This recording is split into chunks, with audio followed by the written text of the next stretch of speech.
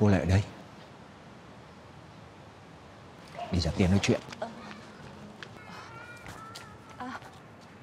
Cô tìm tôi làm gì? Định nhiễu à? Tôi đã cố liên lạc với anh nhiều lần mà không được. Tôi chỉ muốn nói với anh là Là gì? Tôi với cô không còn gì với nhau cả Bây giờ tôi đã có gia đình, có vợ, có con Sao? Định giở trò à? tôi không định quấy nhiễu anh đâu. Tôi thề đấy. Chỉ là lúc bấy giờ, cái thai quá lớn, cho nên tôi không thể bỏ. Bây giờ con bé đã 10 tuổi rồi. Nó chỉ muốn được gặp anh một lần. Cái gì? Cô vẫn đẻ à? Cô bị điên à?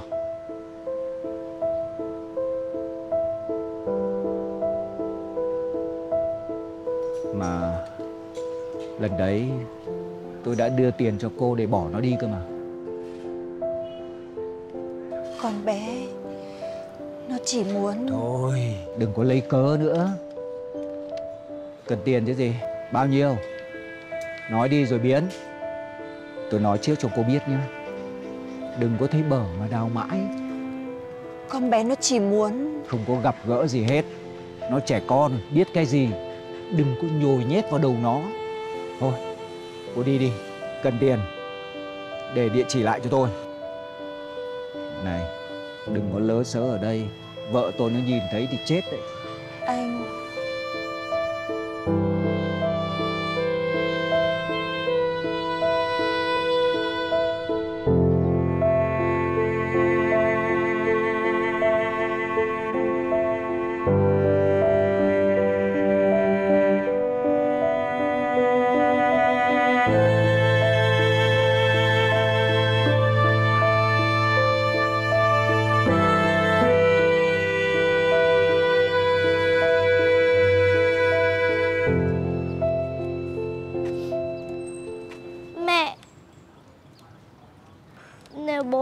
Thế. Con không cần nữa đâu. Mẹ cũng không cần tìm cho con đâu.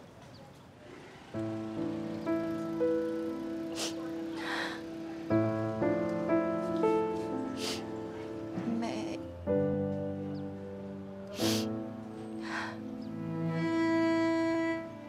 Mẹ xin lỗi. Tại mẹ tại mẹ nhìn lầm người.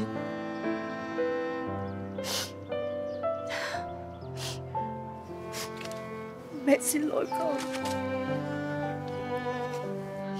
Không Không có bố. Con nhất định Sẽ học giỏi giang, Ngoan ngoãn.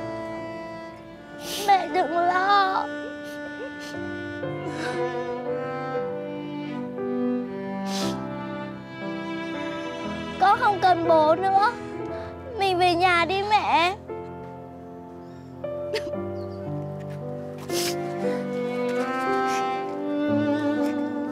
Con cho mẹ xin lỗi nha, mẹ xin lỗi con.